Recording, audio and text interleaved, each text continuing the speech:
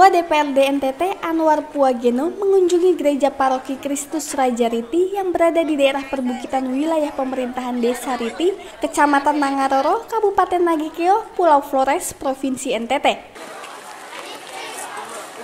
Kunjungan Anwar Puageno dalam rangka silaturahmi sekaligus memantau persiapan pentabisan gereja paroki Kristus Raja Riti yang baru selesai direhabilitasi pada Januari 2018 lalu dan akan diresmikan pada minggu kedua bulan April 2018.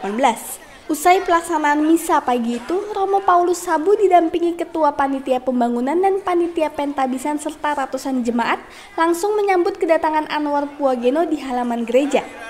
Pada kesempatan tersebut, Anwar Puageno diminta Romo Paulus untuk memantau langsung di dalam gereja paroki serta berkunjung ke pastoral dan berbincang-bincang terkait rencana persiapan pentabisan gereja paroki Riti dan selanjutnya mengikuti rapat pemantapan bersama ratusan jemaat di gedung aula pertemuan gereja paroki tersebut.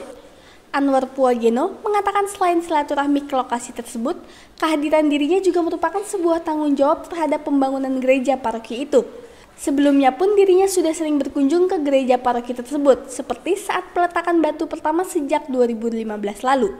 Selain itu, kata Anwar Puageno, kegiatan pentabisan nantinya direncanakan juga akan dihadiri langsung oleh Gubernur NTT Frans Leburaya dan juga staf khusus Presiden Republik Indonesia Komjen Pol Goris Mere dan juga para pejabat lainnya.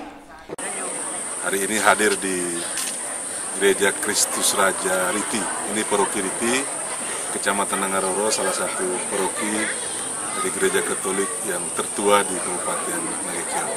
Ya juga.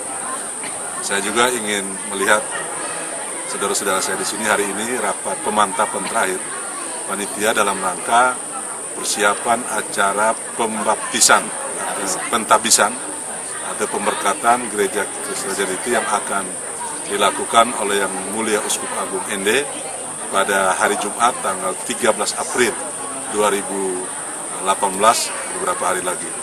Dan saya eh, menyaksikan langsung umat di sini begitu antusias, kemudian panitianya semangat bekerja untuk mempersiapkan acara. Sementara itu, Romo Paulus Sabu mengatakan dirinya memberikan apresiasi kepada Anwar Puageno yang terus memantau perkembangan progres pembangunan gereja paroki Kristus Raja Riti dari progres awal pembangunan hingga saat ini. Romo Paulus juga mengucapkan terima kasih kepada Anwar Puageno bersama keluarga besar yang turut membantu kelancaran dan kesuksesan pembangunan gereja ini hingga diresmikan.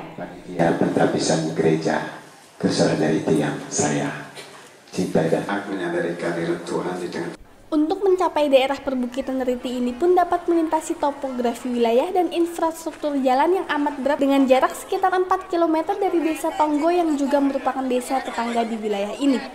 Dari Nagekeo Nusa Tenggara Timur, leader Ismail Tribrata TV, salam Tribrata.